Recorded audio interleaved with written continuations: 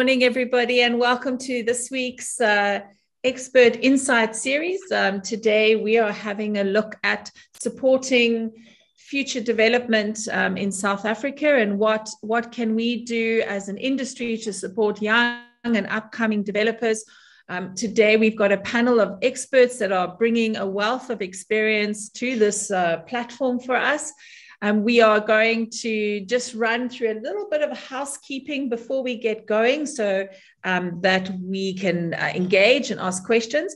Many of you have attended our webinars before, but if you haven't, at the bottom of your screen, you'll see that there is a little box that says chat. This is where you can pose any of your questions to um, our panelists, and we will do our best to tackle those questions during the webinar. I also received a number of questions leading up to the webinar, and we have definitely taken note of those and, and will address them in our um, discussion this morning. Um, during the course of the webinar, there will also be a few polls that will be run. The poll question will pop up in front of you. You can just answer that poll. There's a example of one. You can just answer the poll and um, for those in the panel, just click it off your screen. You can answer the poll, and yeah, at the end, we will have a look at those results. Those polls are just to keep you sort of engaged and uh, sharing of information. So let us uh, talk about our fantastic panel that we have here this morning. We got 45 minutes, so let me hop to it. So, when putting this webinar together, we needed to tackle a couple of different aspects.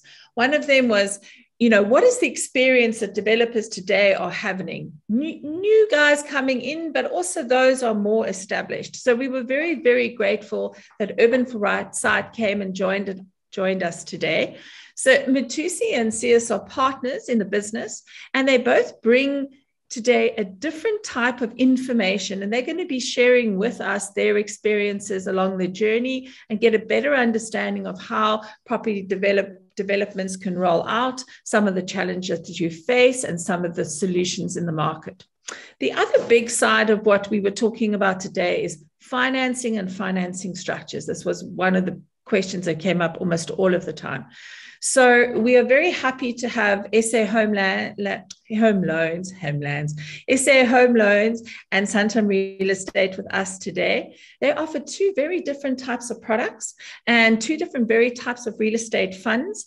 And we're going to break those down and have a look at the criteria that they require. Um, and that will happen a little bit further on during the webinar. So um, without further ado, let's get going. Um, Mothusi, thank you so much for joining us. And perhaps you could get the ball rolling and, and give us a little bit of an overview of where your experiences, some of the challenges that you faced through your development career and, and, and, uh, and, and where you are today.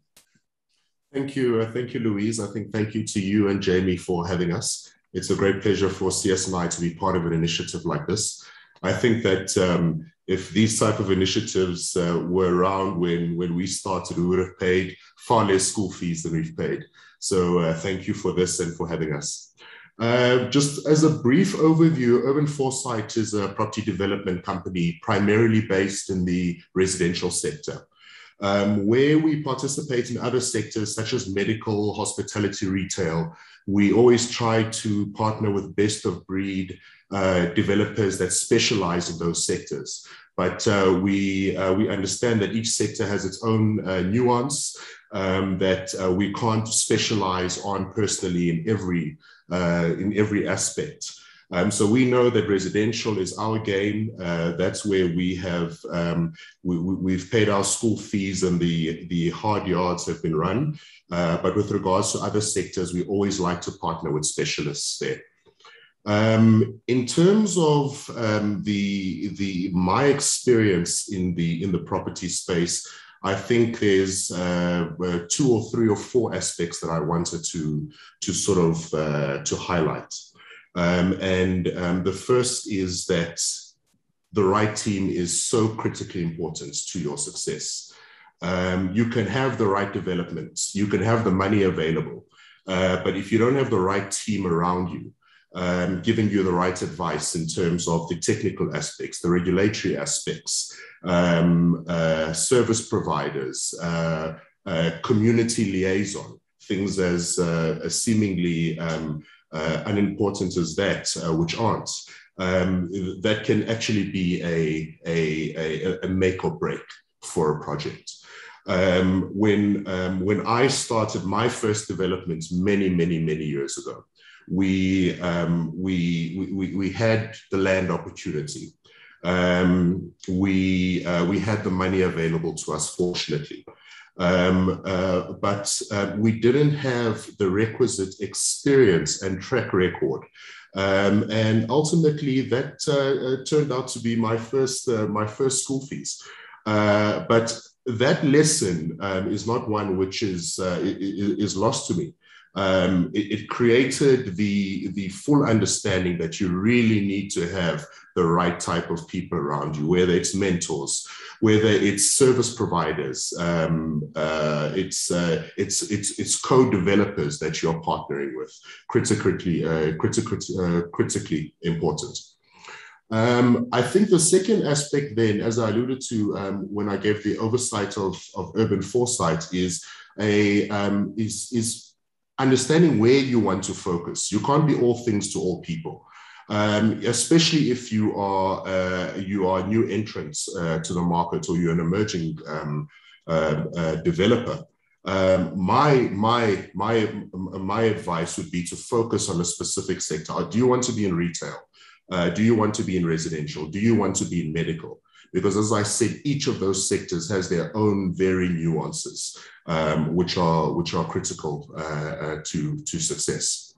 Um, thirdly, I'd say um, uh, finding the right development is also very very very important, um, and uh, your your your research.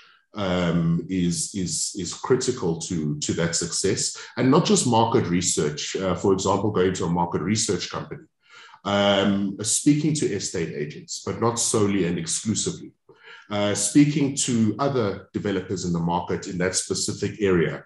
Very, very critical, but again, not solely and exclusively. Market research, again, important, uh, but uh, I think there can be a tendency to focus purely on a market research, and that's taken as as as um, as as word.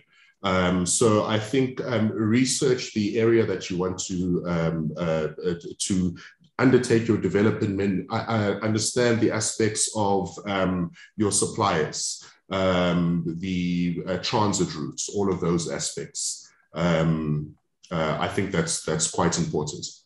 Um, and then, uh, uh, fourthly, I think understanding from a finance perspective, um, unless you're lucky enough to to to to have a large checkbook, um, understanding what um, what the finances requires and fully fully understanding that because if you um, if you have signed your OTPs and um, you have made commitments to service providers and um, uh, and, and and potential buyers, etc., etc., etc., and uh, you, the, the, financiers, you haven't fully understood what their requirements for funding are. That can have a significant um, uh, uh, drawbacks in terms of uh, your, your, the time movement of your development. Um, so I think from upfront, just do your research in terms of, I think uh, the commercial banks would be where most um, uh, new entrants uh, would go. Understand, just do a cursory study of what the general, your big five, what their requirements would be. And then you're able to ask, ask those questions while you're doing your initial engagements um, on, a, on, a, on a development. And then um, fifth, uh, equity, equity, equity. I think that's um, that's what it. Uh, that's where the one of the biggest um, stumbling blocks is faced. I think um, I think us as previously disadvantaged people as well. Um, you uh, you know we don't have uh, sometimes don't have the luxury of uncles that have a you know a a a big bank account to our own parents, or or uh, we come from uh, harder backgrounds than others. Um, uh, equity is is always a challenge. So in the back of your mind, you need to be able to uh, say if a bank comes uh, and they have a, a, requirement of a 10 to 50 percent equity uh, contribution that's required from the developer. I think you have a sense of how you're going to muster um, um, uh, that equity. And I think internally, um, uh, Sias and I and the team, we've uh, we, we've uh, tried to be very innov- innovative um, uh, regarding that um, uh, that question, whether it's partnership with landowners, um, a variety of of, of solutions that we have put together for ourselves and trying to answer.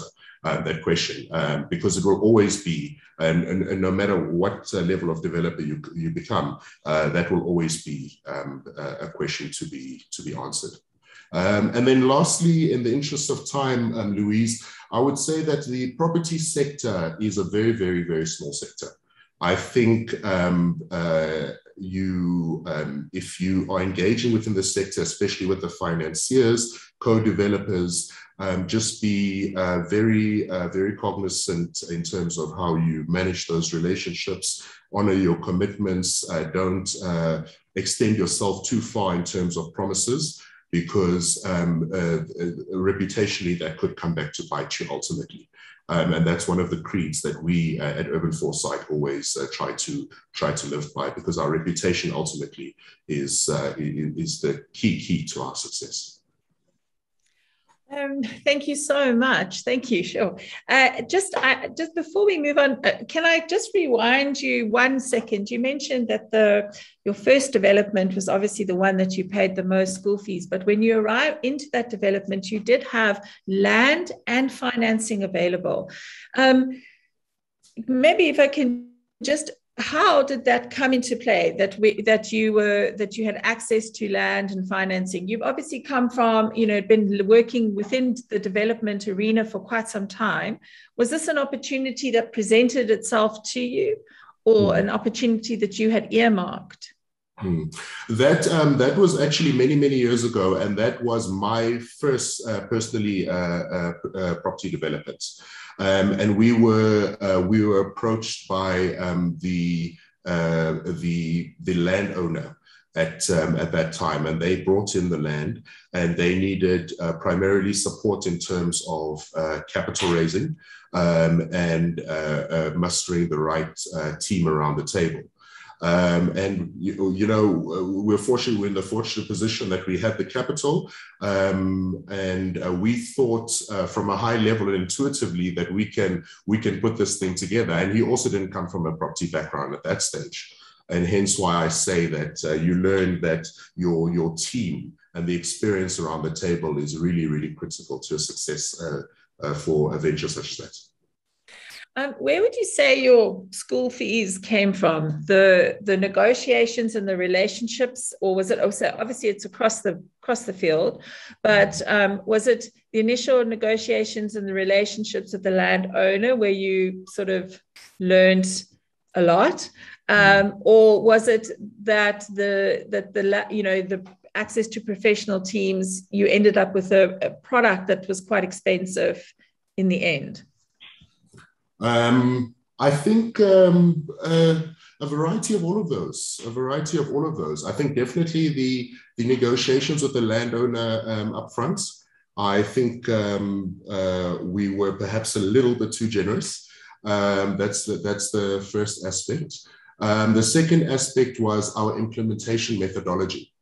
Um, I think um, uh, being where I am now, uh, from an implementation point of view, we would have structured things uh, completely differently. Um, and then um, having um, ha having the right advice around the table in terms of the various facets, um, I think that would have been that would have been critical to us, which we didn't have at that point in time. I suppose that's school fees. school fees. the school fees. The you know you look at your look at the mistakes as lessons, which is Absolutely. the important one. Mistakes as lessons, and mistakes mistakes that cost money as school fees. And uh, we can certainly identify with paying school fees in business. Um, thank you so much. And I think I think we touched on a very key aspect there, which is financing. So you had a land opportunity, you were approached by a landowner, you learned to negotiate, and, and there was a certain amount of skills that were required there. But you also mentioned financing. And I think this is where Benjamin, I'm going to bring you into the conversation. Um, so, so there isn't a lot of financing opportunities available for folks that don't have a track record um, necessarily. And I don't think that's just in development. I think that's in any kind of financial environment where you're wanting to loan money um, and raise equity. So perhaps maybe from um, SA Home Loans perspective and from your experience, you could give us a little bit of an understanding of the types of funds that are available and what are the criteria that loan that lenders look for in a development project. Thank you, Louise, and uh, thank you to all the other panelists as well. Um, yeah, I, I think traditionally with, within the finance institutions or landscape, accessing funding is difficult. And I think a lot of people attach various values to that. Some people will say we in the finance space, we are just difficult because we are. Um, I think any project would need to be viable. Does not matter what the client is that we that we are looking at. So I think that, that that's quite a key aspect. Secondly, the drivers of the project, I think, need to be very serious about what it is they are trying to achieve. Um, so, having had the privilege of working with people like Mothusi and Sias, is um, I think there's a certain attitude that you bring to the table that we as the financiers are able to to engage with in, in making our decisions. So I think just at a philosophical level, it is not that we as the financiers are sitting here as gatekeepers to these vast pots of money and trying to be difficult about it. What we have done in, in SA Home Loans is a couple of years back, we, we started a housing development fund specifically focused on affordable housing. So we have a maximum price range that we would focus on. So the maximum selling price of the house would be pegged at 800,000, obviously catering for where the big demand um, within our housing market is. Um, and then second to that, we also focus on empowering um, Black developers entering this space. So one of our biggest criteria in advancing money is looking at uh, Black-owned businesses. Um, so obviously, I mean, I'm not going into the politics around around around those issues, but what we are saying is that's a gap in the market. We are willing to look at it. We are willing to apply a skill set and an aptitude to that requirement, where we can say, look, if you don't have experience, we are still willing to consider you. If you don't have equity, we are still willing to consider you. If you don't have a, um, you know, because there's developments at the front end where you find an opportunity, you come, you present it to us, we like it, then you develop it.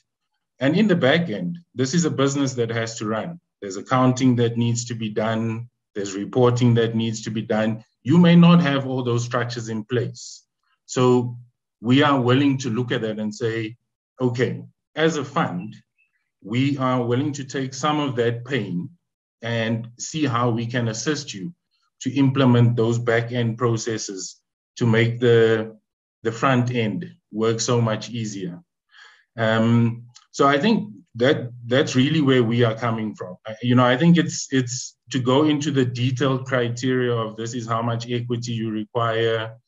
You know, I, I think would take too long, but safe to say it's affordable housing that we focus on. And we are focusing on Black new entrants. So your business must be 51% Black owned and managed. And that's, that's key for us. I think we've all moved past that stage where someone comes to you with a, a, a land opportunity and you are kind of the driver of accessing finance. And then once the finance is accessed, and then you sit there in the corner like a naughty child, minding your own business. You know, I think uh, you, you, we're quite strong. You know, it's a it's a personal view, and I think it's a view that we hold as a business that the team needs to be involved in driving all the processes. I need to be able to pick up the phone to any team member and say, what is happening? Why are things not going to plan? And I must get an answer that makes sense. Um, you know, and look, we don't advertise wisely, but we've we've you know our fund has been been operating for a couple of years. We you know we currently have 16 active transactions where we're developing across the country, and you, we funded mainly. I think you know 90% of the developers that we funded are new entrants into the space. But again, they've shown the aptitude and the willingness to actually I think um, Mothusi alluded to it, is that it's something you need to live for this thing. If, it, if it's your business, it's something that you must do on a daily basis. You don't just look at the feasibility, see a 50 million rand profit number, and you know that's the driver. You know, it's it, it must be more than that. Thank you very much. So, so the so I understand the criteria. Um, from a from a management and a business ownership point of view. Um, size of project is there a limitation or a minimum when it comes to the size of the project? Yeah, I mean, I, I think the development landscape has moved quite a long way in terms of uh, where we were 15, 15 years ago, where guys would come with these massive projects. I think they are still big projects, but they are being phased in a more sensible way. So you can look at a, a two, three, four thousand unit development, but it's phased in mm. 20 pockets, you know. So mm. we fund on a peak exposure basis. So if you look at what your peak exposure uh, requirement is, you know, we, we could go up to a level of, let's say on an individual developer of 250 million. That is quite a big development. Um, it's difficult to put it into an, an, a number of units, but I would think intuitively, you know, and th- this may be personally, just from a work perspective, is, you know, up to a thousand units would be something where I would feel, okay, you know, that's big enough. You know, I also need, I also think you need to consider the way the property landscape is moving. You know, I, I think things are becoming much more urbanized. So your opportunities are becoming smaller um, but more opportunities that you would be looking at. So instead of doing one big development, you may, may be doing five small developments mm. um, in, in, in order to get people closer to the to to to, to the metropoles and in, mm. instead of on, on, the outskirts. So that's probably where I would peg it at, at, at a thousand units. And um, I mean the the I think uh, you mentioned that there's a support structure in place. So the back backroom support structures and, and, and expertise that you would share with a team that are, are accessing this funding. But there are other areas like infrastructure that needs to be in place and all of all of the other sort of requirements of a development.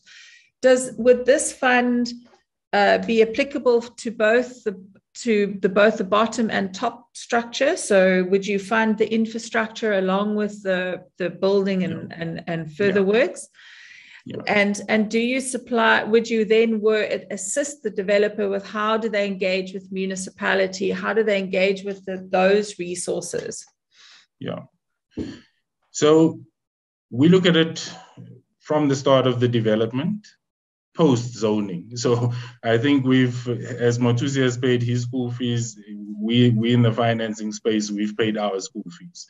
I think um, you know zoning processes are, yeah, you know, it's it's rough waters to to to to navigate. So we would typically say your property needs to be zoned or as close to zoning as is possible. Um, but then from if, if land is owned, we would get involved in the acquisition of land, uh, bulk services, internal services, top structure, and then obviously uh, the sales process to, to, to, to the end user. So we would get involved from, from that point right to the end. Um, and a question you might not be able to answer, but I'm going to ask anyway how, how does the cost for this type of financing uh, compare to that of a traditional bank? yeah, yeah I, I, you know, I, I, I always, I always think. Sorry. no, it, it's not. You, you, know, I can I, I can give you the the kind of textbook answer, or you know, or, or the leaflet answer, and say, first you must consider we are a fund, so traditionally we'll be more expensive than a a bank. You know, we, we don't have those whole, wholesale facilities available. Um, but we are not much more expensive. But then you you also have to look at, you know, where you lose on, on one side, what you gain on the other side. So traditionally, you may go to a bank and the equity requirement may be higher, and our equity requirement may be lower. You know, and the bank may have a higher pre-sale requirement. We may have a, a lower pre-sale requirement. I think you know I, I always my approach to any client is it's your choice. If we sit around the table, I like a development, we can agree on terms. There is nothing that stops you from saying this doesn't work for me, and you may go elsewhere. And I, I think within our space, people don't do enough of that, where they actually investigate and understand. You know, so people would look blindly into one number. If, if, if we partake at an equity level and we say, for the equity that we put in, we want a 25% share, they would immediately translate that into an interest rate that you are being charged on your global facility, saying effectively, you are now charging us interest of 17%, as an example, which is not true. You know, one type of financing is not another type of financing. It's you know, debt funding is debt funding. You know, if, if I'm charging you 15% on debt funding, by all means, compare it to someone else. But, you, you know, so I think, you know, like Mothusi indicated, as you do within the development space where you educate yourself, you know, go through the process of also understanding what the different financing components mean, you know, because these aren't necessarily always vanilla transactions. You know, there is structuring that happens. There is different levels of debt that comes in. So, you know, it's it's it's not just a question of looking at one number and saying that is the end result. But yeah, I, I mean, it, it would be difficult for me to put a put a number number to it and get many phone calls trying to commit me to that number.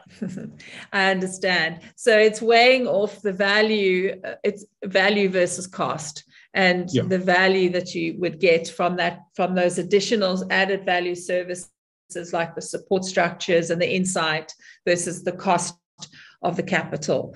Um, thank you very much. And I think this brings us to a, really nice point where we can chat, bring Karl into this discussion because there are many types of financing models out there. And uh, some of the questions we have been asked from the audience you know, are those uh, accessing those different types of models? And what Santam Real Estate brings is another dimension to your process of, of looking for funding, a different type of funding, uh, when it when you are uh, doing this research that Benjamin mentioned. So thank you so much, Ben. Karl, if I could bring you in at this point, and perhaps you could tell me a little bit about the Santam solution, how you're approaching younger developers. I know that you work with a number of large uh, well known, successful developments. You have a number of projects underway.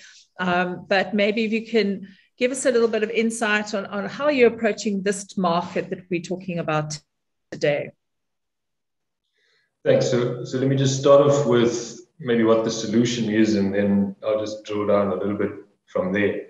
So the solution generally is based around equity, um, and you know that's a, a famous point that comes up all the time, right? From from developers, whether you're an experienced developer or not, you're going to have to have some equity.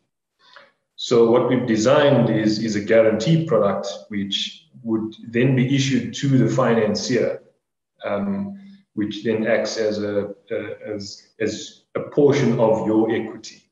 Um, to the financier, which then uh, facilitates a higher level of, of funding right, uh, in, in broad terms.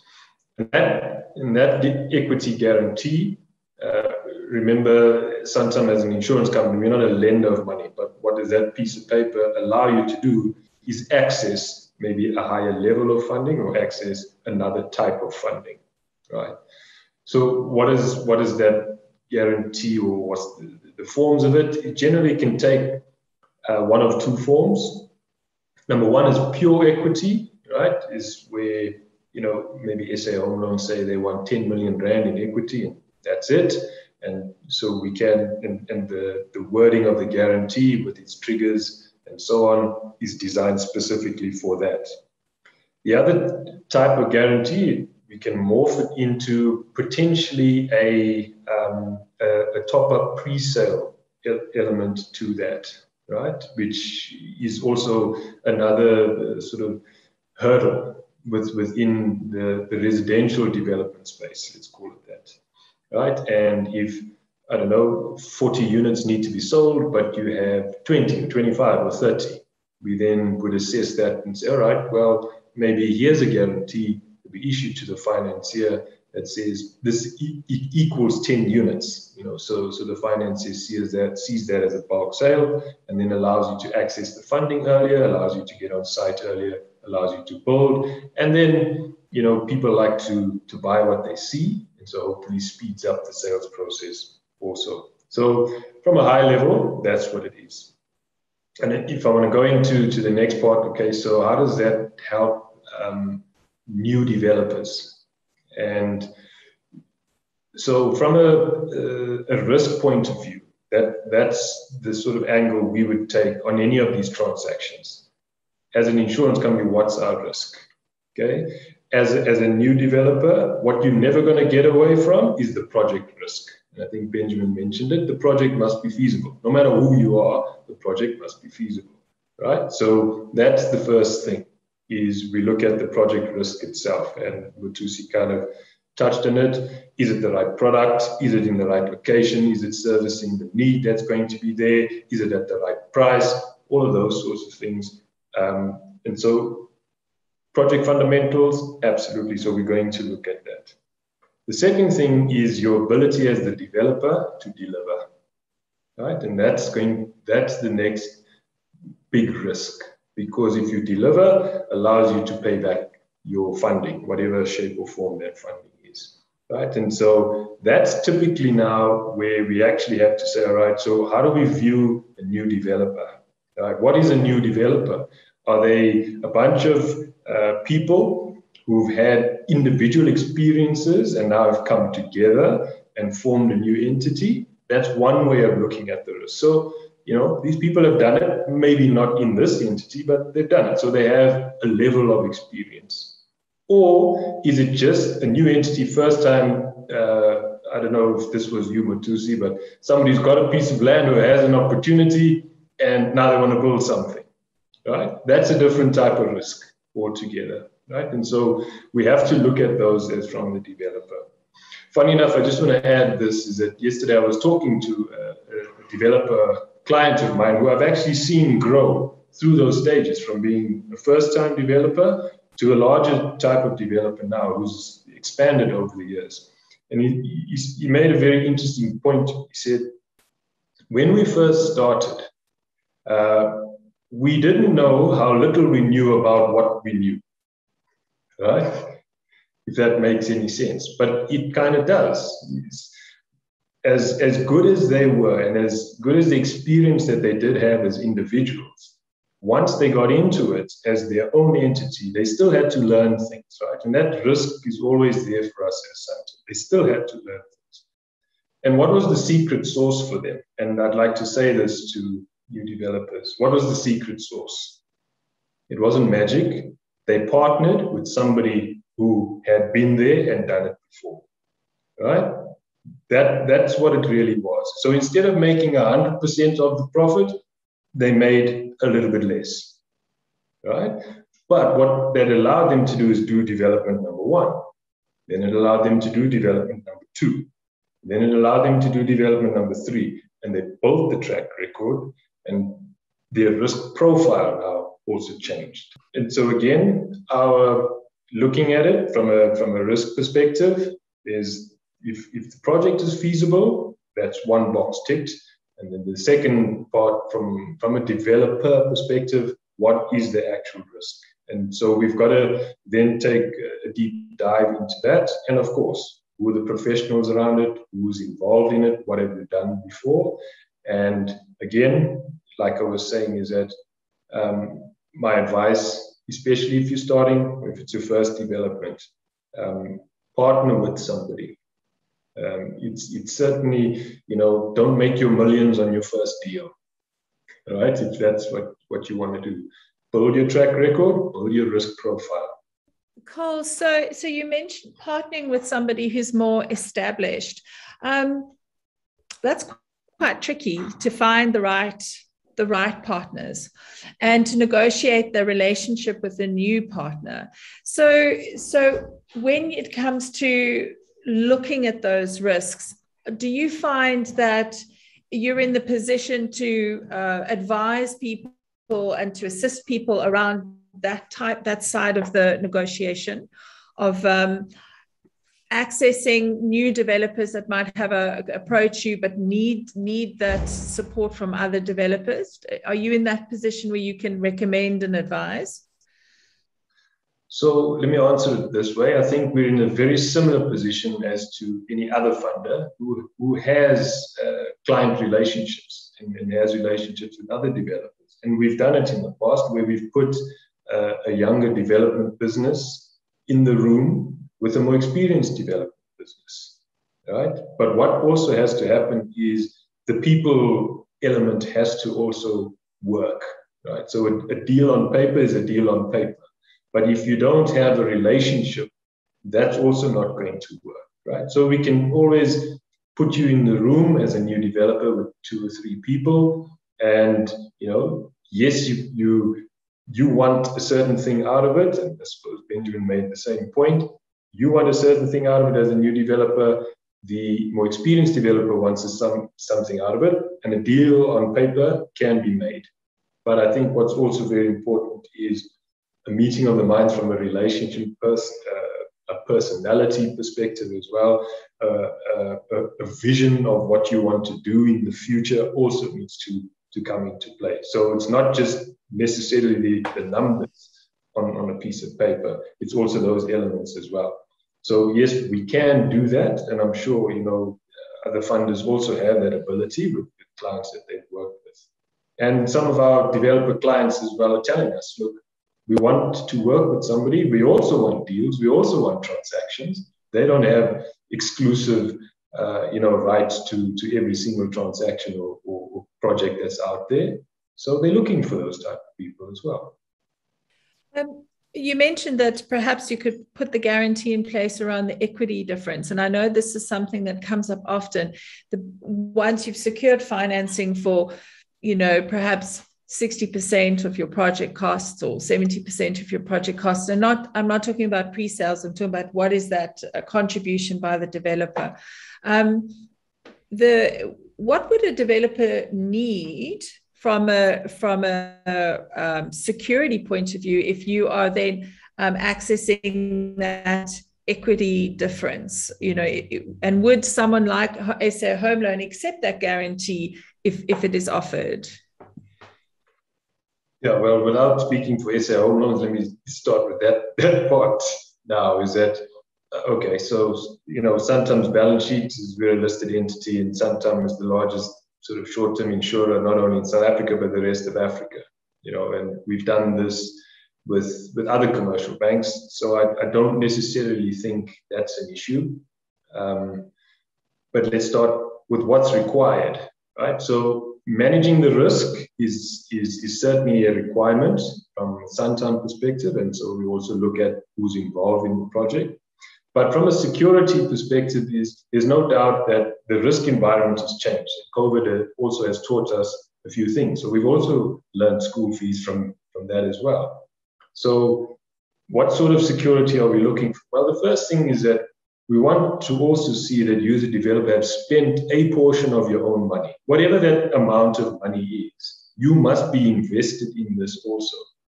There's no doubt uh, I think Sias was saying it earlier, there's no doubt that being in the property development space is a cash intensive industry. Okay, you are going to spend money and you're going to have to spend money if you're going to be in this. And so we want to see that also. So that's one type of security. We want to see that you've spent your money. Secondly, is we do look at balance sheet security. And hence, I say partnering with somebody also gives you that ability okay, to, to fulfill that requirement of security. Yes, the asset itself is a form of security, but generally the main financier is going to bond that and they're going to you know take 100% security of that in any event. So we as as Santam would have to look outside of that. What additional tangible security is there? And I don't want your fancy, you know, Toyota Prado or something like that. I want other fixed asset type of security. Okay, so you're not going to take my Toyota Conquest. All right. Thanks. Thanks, Karl. I'll try again. Um, okay, so fix, you're looking for a, a fix. So regardless, there's no getting, I'm trying to see how do you get around uh, putting sk- your own skin in the game and and the long and the short of it is you can't you know whether you're getting however you're going to finance a project you need to you need to look very long and hard at where your personal or, or that of a group of your consortium or of your uh, group can come come to the party. Um, as we roll on towards the end of this uh, webinar, I think it's really important now. Thank you so much, Karl.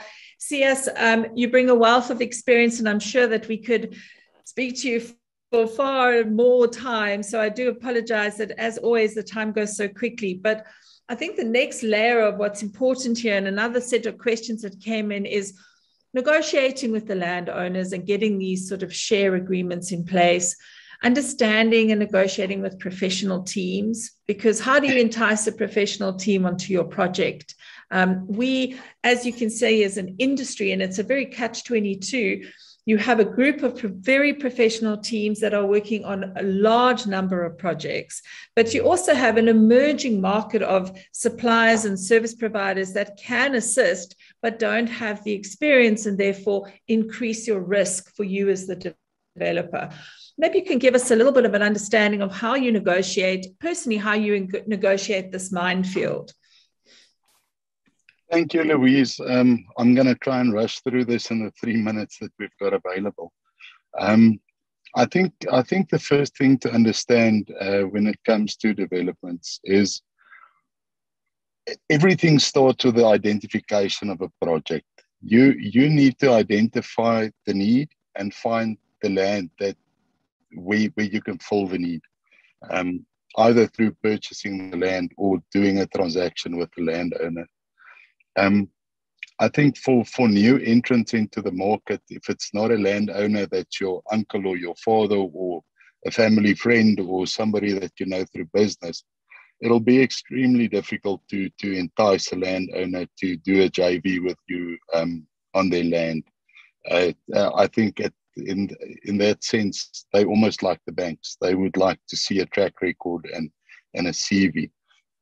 Obviously, as you progress and you can show that you've you've delivered projects and, and that you've uh, got the capacity to to uh, finish projects successfully, um, landowners becomes more and more enticed to, to go into a JV with you. Um, obviously, in a situation like that, uh, we tend, myself and Mothusi, uh, to offer the landowners a very decent stake in a project. Uh, we offer them, uh, obviously, whatever the asking price is, uh, as long as it's reasonable. Um, and and in addition to that, we offer them a healthy percentage of the profit margin. Um, we also don't uh, let them sign sureties.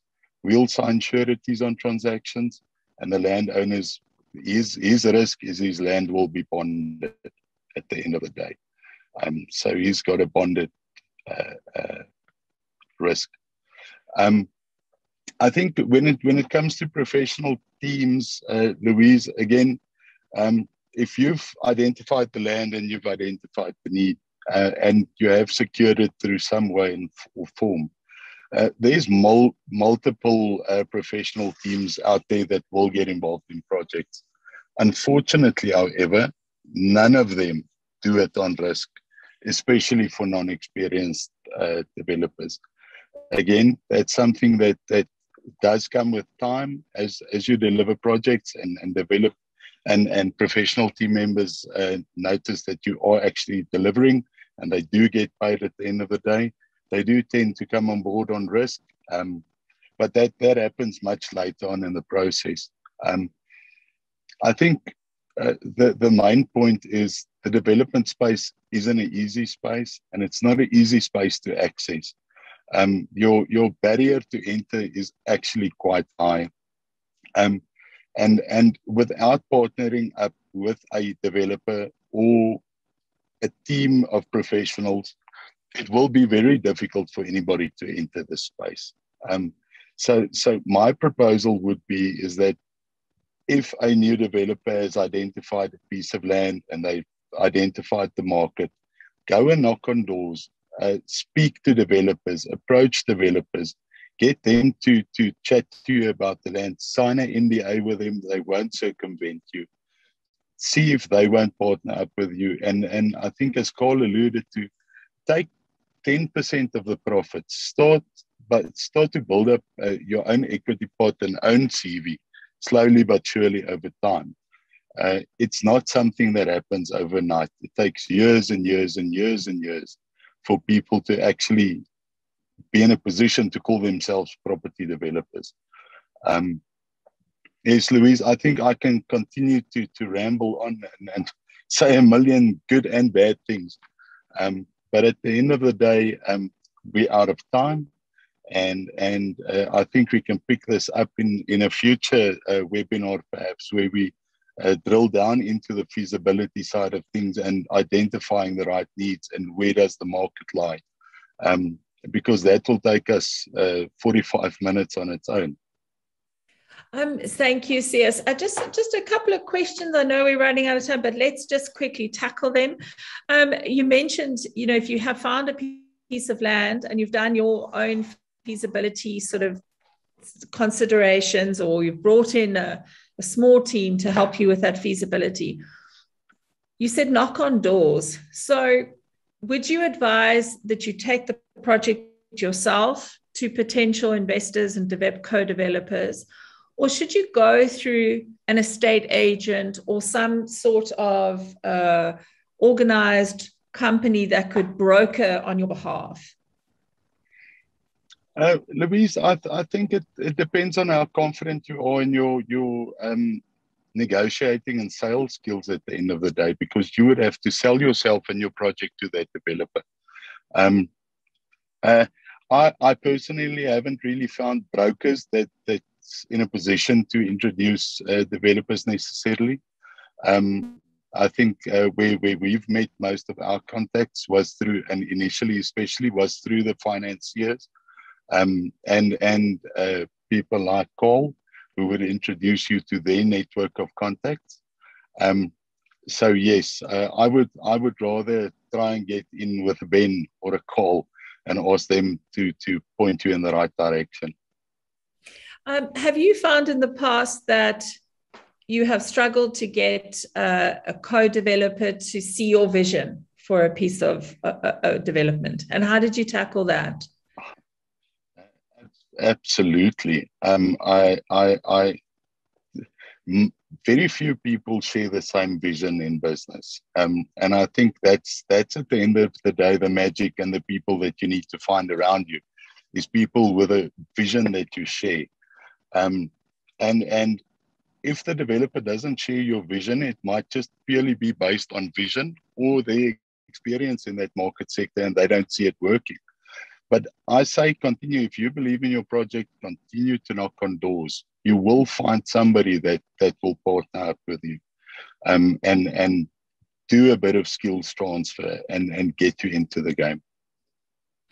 Um, there was just a mention as well in one of our questions earlier that um, if you identify land in existing urban areas, so maybe sort of areas where you've got in uh, space, you know, interspaced open pieces of land.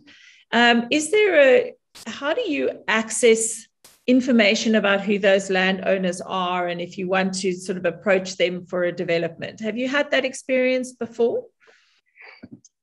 Yeah, um, I don't know whether the new uh, POPIA Act, uh, how easily you'll be able to access the information, but but in the past you were able to to uh, draw some some reports on on landowners from various websites, uh, paid property information reports. Um, but currently, with the new POPIA Act, I actually do not know if that information is still available on any portal. Um, and then just a just a question. So, in your experience, studying something so going off to university or doing a course or uh, you know learning the, the basics and the ropes before you before you start in business would you would you recommend that if it's a if it's an affordable option to you or um, do you think you should sort of jump in at the bottom and climb the corporate ladder so to speak um, louise i think there's a business case for both both options um, I would say if you've got the opportunity to access a university, go for it and, and study something. Within the property sector, it could be architecture or engineering or property management, um, or just some short courses. Uh, educate yourself on, on, on the development space. Um, if, if you don't have the opportunity, um, I started off as a estate agent um, that's that's where I started learning the ropes. And then I worked for an attorney firm uh, and worked in the deeds office. And from there, I worked at the bank and did some bonds. So, and then I went to site and I worked for a developer on site as a site foreman. So, climbing the ranks, uh, I, I'm a, a, a, believer in climbing the ranks. Uh, learn how each part of your, your sector works uh, obviously, those options aren't available for everybody, um, but I, I, think both both uh, uh, avenues have pros and cons and, and can be followed. Absolutely. Well, thank you, gentlemen, for sharing your insight. As you see, time flies when you're having fun, and there's uh, we've recorded this for those of you um, that would like to view this recording again, and um, we will continue to share information. Um, I am happy to connect anyone the panel if you would, if you so wish. So please, uh, Jamie has popped my email address, louise at estate-living.co.za. You're more than welcome to contact me directly and we'll take it from there. Um, thank you so much, gentlemen, for attending. We, I think this definitely is the start of uh, what I hope will be an in very informative um, set of series of webinars for this particular market that are looking to move into property development, we definitely need to share our expertise so that we can build a robust system for the future and um, and and see and there is so many opportunities for job creation and so much more within this sector. Um, thank you all for your time and thank you to everyone who's joined us. Uh, Clem, would you mind popping the video on?